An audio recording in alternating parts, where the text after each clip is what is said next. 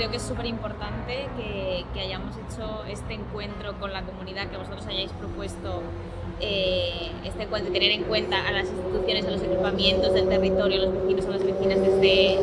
desde el minuto cero, antes incluso que estuviera construido el centro, marca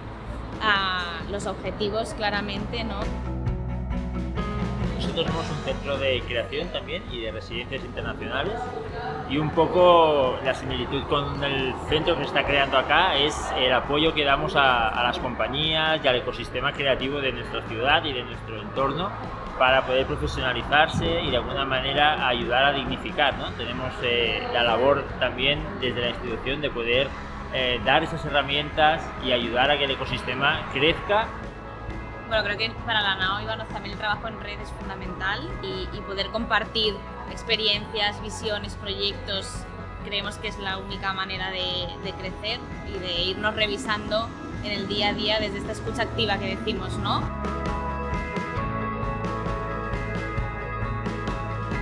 Bueno, o sea, estar acá para nosotros es realmente un orgullo,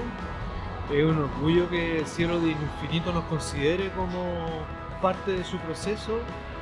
y el hecho de, de, estar acá, presenciar el trabajo que se está haciendo y que se está realizando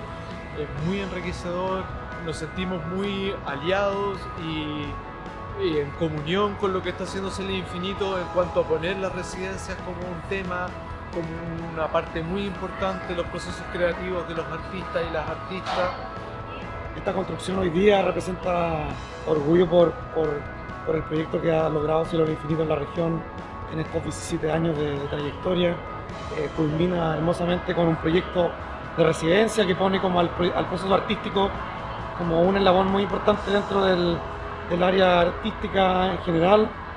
Súper agradecidos de estar acá y, ser parte de esta primera abertura del espacio.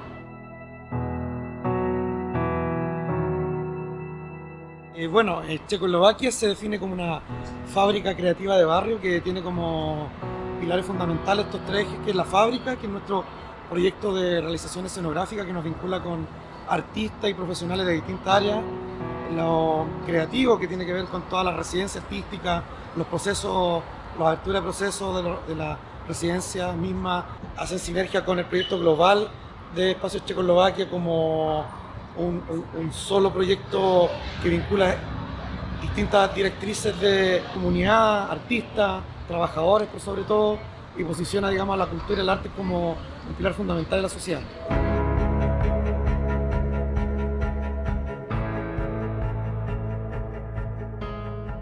dos días de jornada también de poder eh, acuñar también conceptos nuevos como son esos espacios creativos, como ver la mirada que ellos tienen también del arte.